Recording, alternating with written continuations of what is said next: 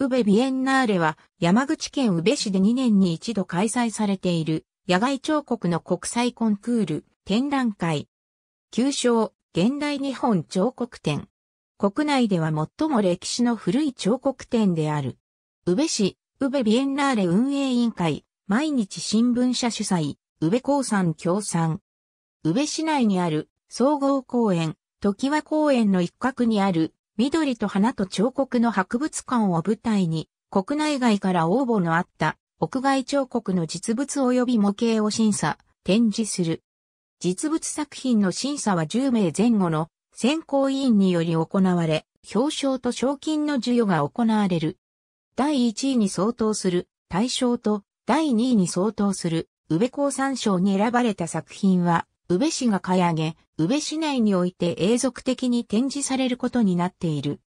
第二次世界大戦後の高度経済成長期、宇部炭鉱による石炭価格を軸に工業都市として飛躍を続けた宇部市は、その代償として公害問題や青少年の非行の急増が社会問題化し、人心の荒廃を招くこととなった。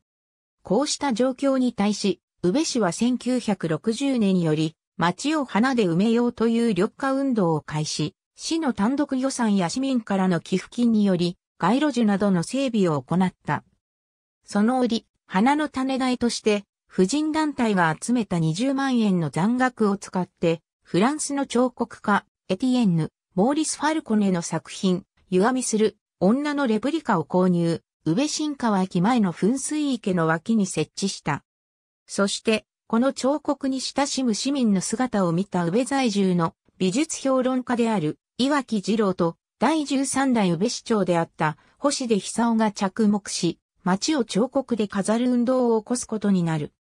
この運動は美術評悟家の土方定一、彫刻家の向井良吉、建築家の大高正人を巻き込む形で展開され、1961年に時和公園の一角において第1回宇部市野外彫刻展が開催されることになる。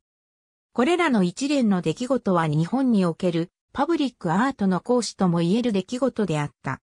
宇部野外彫刻展は1963年に第1回全国彫刻コンクール応募展として継続され、1965年からは宇部ビエンナーレの直接の前身である第1回現代日本彫刻展が開催され、以後2年に一度の開催が継続されている。2009年からは主に、宇部ビエンナーレの故障を用いている。水井康を、ありがとうございます。